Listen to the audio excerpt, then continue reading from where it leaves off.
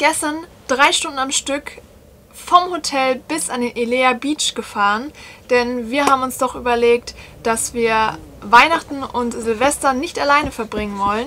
Deswegen sind wir jetzt schon am Elea Beach und wir freuen uns mega, dass wir hier Heidi und Willi wieder treffen, die wir schon 2020 hier kennengelernt haben. Wir haben ein Paket von meiner Oma erhalten und zwar eine Weihnachtspost.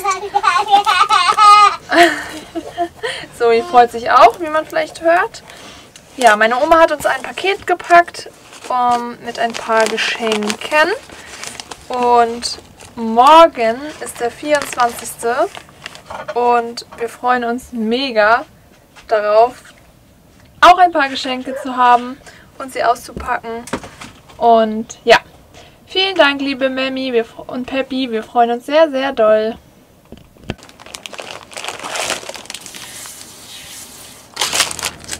Heute ist Heiligabend und das ist der Tag, an dem mein Papa Geburtstag hat. Alles liebe Papa, ich vermisse dich sehr. Aber so lange ist es ja auch gar nicht mehr, bis wir wieder zurückfahren. Wir stehen hier am Elea Beach und wir stehen hier auch wieder mit Willi und Heidi. Und es sind auch noch ein paar andere da. Ähm, und wir machen heute ein gemeinsames Weihnachtsessen. Jeder macht ein paar Sachen. Und ich werde mich jetzt ans Apfelkuchenbacken machen. The sun's going up, get ready shine.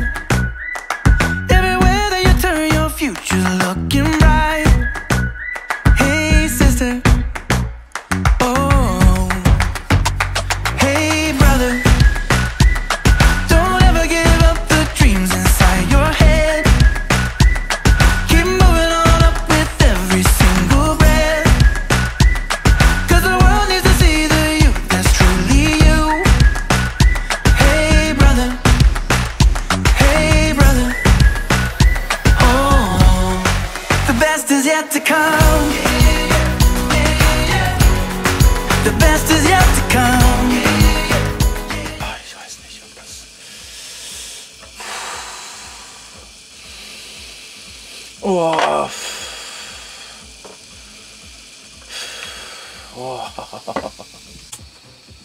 Ah. Oh. Oh, scheiße.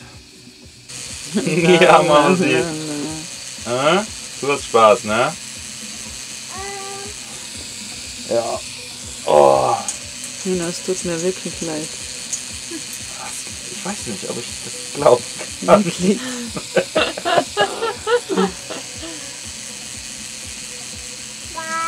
Boah.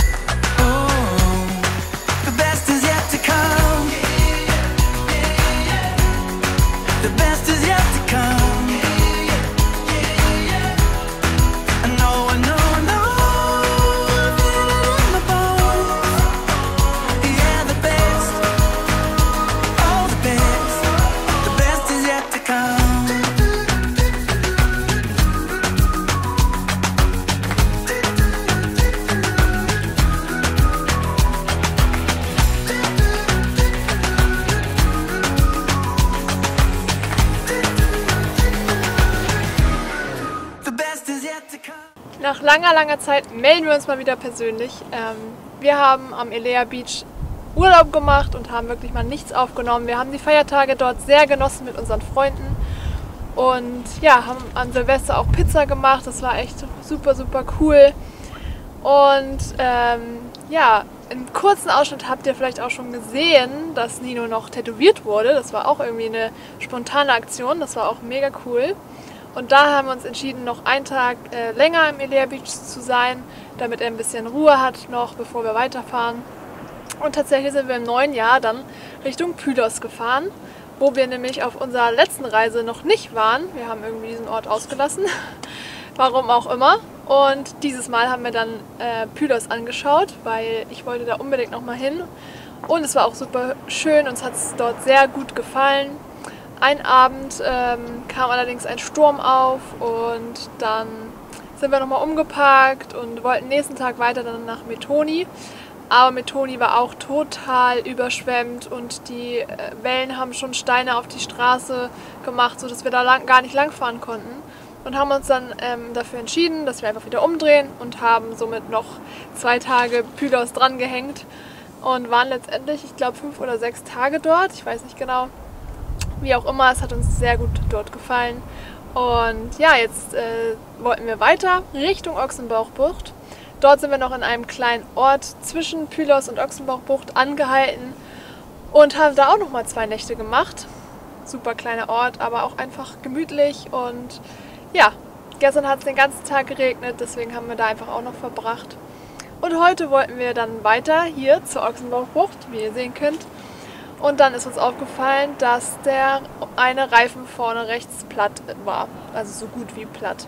Auf jeden Fall haben wir Luft verloren, sind dann zur nächsten Tanke, einen Kilometer gefahren, ganz vorsichtig. Und ja, da gab es an der Tankstelle direkt einen, einen Autoservice, also ein, eine Werkstatt. Und die haben uns direkt geholfen. Dann ähm, haben wir auch den Übeltäter direkt gefunden. Es war ein kleiner rostiger Nagel, äh, den wir uns eingefahren haben. Und ja, die haben den Reifen jetzt geflickt. Ähm, ja, mal schauen. Wir haben uns schon überlegt, ob, wir den, ob man damit jetzt gut fahren kann, aber wir behalten das mal im Auge. Ansonsten werden wir auch noch die beiden vorderen Reifen tauschen. Ähm, mal schauen. Wir behalten das, wie gesagt, im Auge. Ja, und jetzt sind wir angekommen hier in der Ochsenbauchbucht und wir sind zum zweiten Mal hier und wir sind wieder super, super froh hier zu sein. Das Wetter ist heute bombastisch und ja, die Aussicht, dazu braucht man glaube ich nichts sagen, aber seht selbst. The best is yet to come.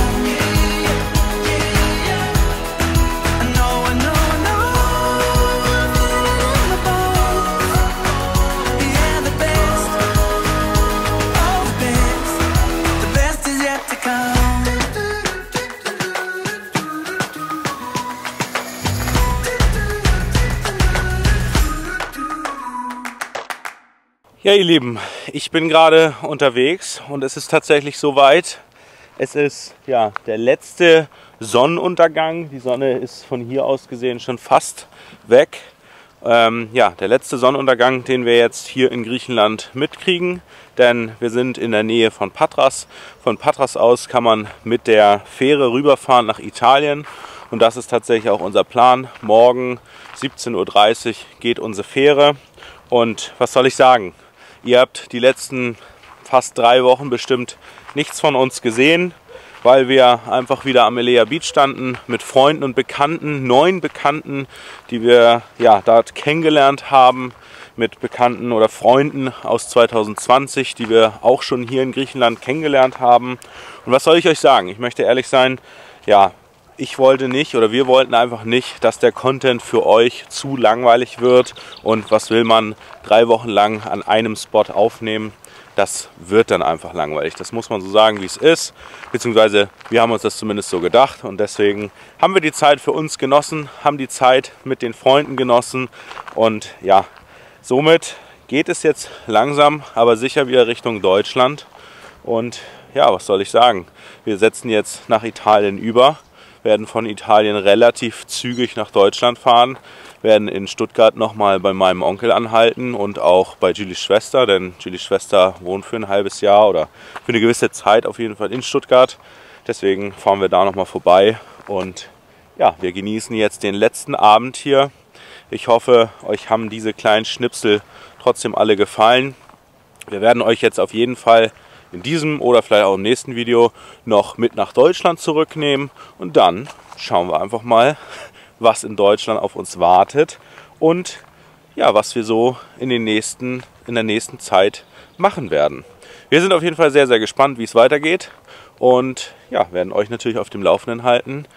Und jetzt geht es für uns noch einmal ans Wasser, beziehungsweise ich bin jetzt schon am Wasser und wir genießen den letzten Sonnenuntergang hier in Griechenland und setzen dann morgen mit der Fähre über.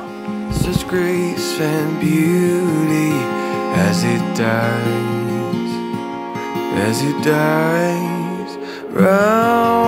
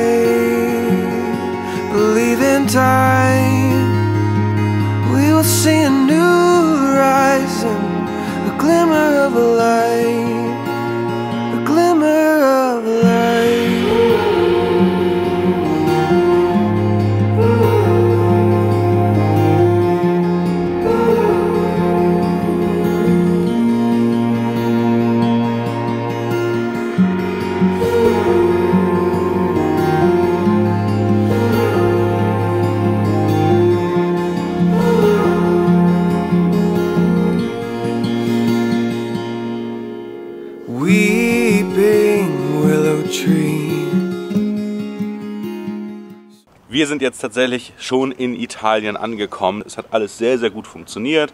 Wir haben das Ganze gebucht, ähm, haben ungefähr jetzt 730 Euro bezahlt.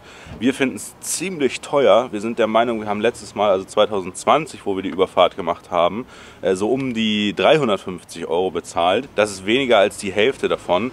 Ähm, das fanden wir schon irgendwie krass, aber gut, was soll man jetzt machen? Wir haben es trotzdem gemacht. Wir hatten eine Vier-Bett-Kabine, wir hatten natürlich eine Pet-Kabine, das heißt, Nala durfte mit in die Kabine rein. Äh, Zoe war dabei, Julie war dabei und ich war dabei. Wir sind von Patras nach Ancona gefahren, falls wir es noch gar nicht erzählt haben. Und ja, jetzt sind wir schon ein bisschen unterwegs. Es ist super, super komisches Wetter. Also irgendwie, vielleicht gehört das einfach dazu, dass wir, ja, wir fahren jetzt Richtung Deutschland und das Wetter ist einfach nur bescheiden. Wir nehmen uns ja auch nicht so viel Zeit für die Rückfahrt. Das heißt, genießen könnten wir hier eh nichts. Wir ziehen jetzt durch.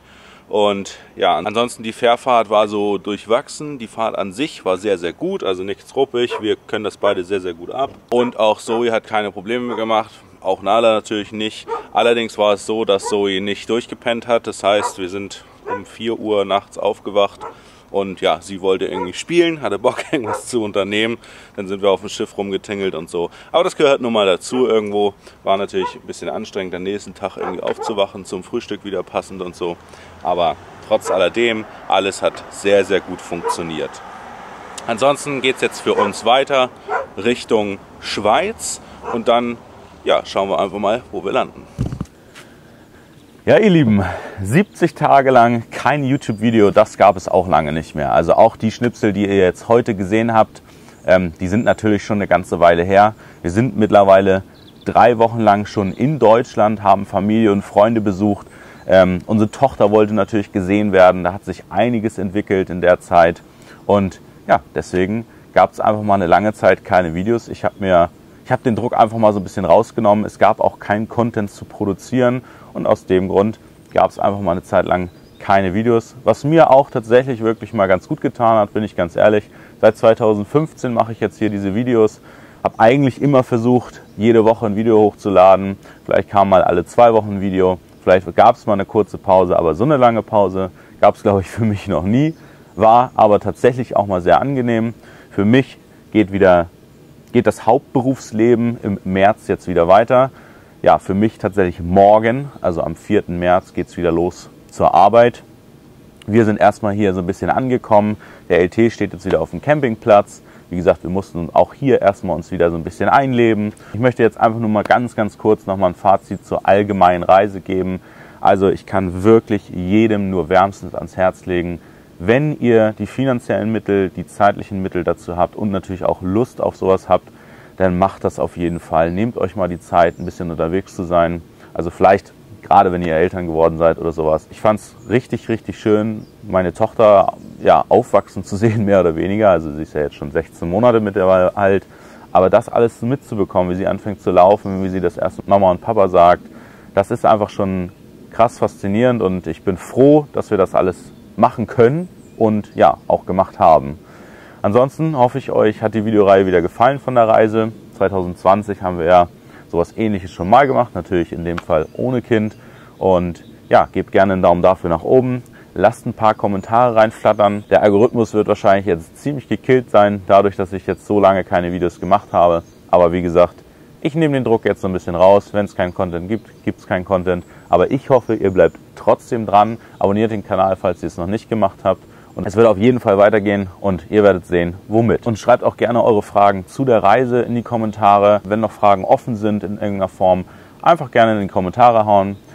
Wie läuft es mit dem Reisen, mit dem Kind, mit dem Hund, mit dem Wohnmobil? Ja, schreibt es einfach gerne in die Kommentare. Auch da möchte ich jetzt wieder aktiver werden. Auch da habe ich mich so ein bisschen zurückgezogen.